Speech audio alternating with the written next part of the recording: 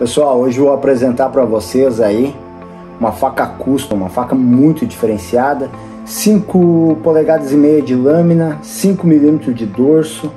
E quando se fala numa faca custom, está se falando de uma faca personalizada, uma faca customizada, uh, um processo uh, onde é, é tratado entre cliente e cuteleiro, trazendo um acabamento impecável, um acabamento muito diferenciado um pouco diferente, pessoal, da faca artesanal. Essa faca ela não chega a entrar numa linha de produção, mas sim ela é cuidado todos os detalhes uh, pelo uh, cuteleiro que inicia ela, vai até o término dela, finalizando. Então, o tempo de fabricação de uma faca dessa é muito maior, tá bom?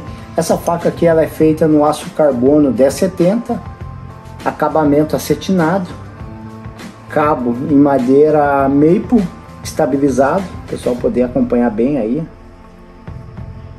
Um lindo acabamento na madeira. A guarda também no, no aço carbono.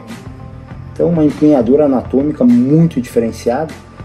Faca rica em detalhes, acabamento acetinado top demais. Então, pessoal, essa faca ela tem uma fiação que vem desde o dorso até embaixo da lâmina. A gente tem um, um fio navalha, só para o pessoal poder ter uma noção aí. Faca que realmente não fica a desejar em questão de afiação. E aí está então, pessoal.